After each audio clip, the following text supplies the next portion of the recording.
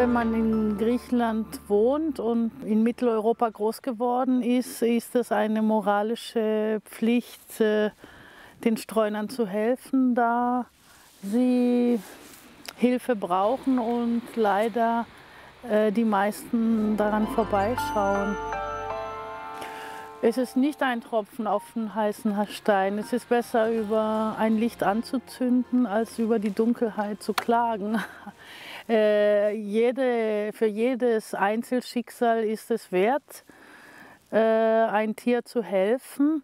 Und äh, die Tiere geben das auch sicher zurück. Die sind sehr dankbar.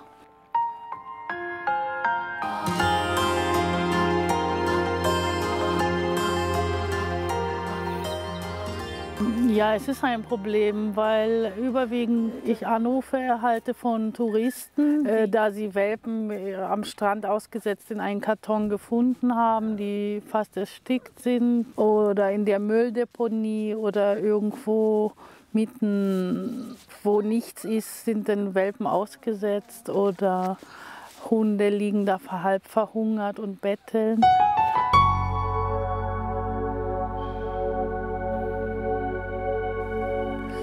Gestern am Hafen äh, war ich sehr äh, verunsichert, ob wir die Hündin finden, da leider auch Vergiftungsaktionen hier Alltag sind.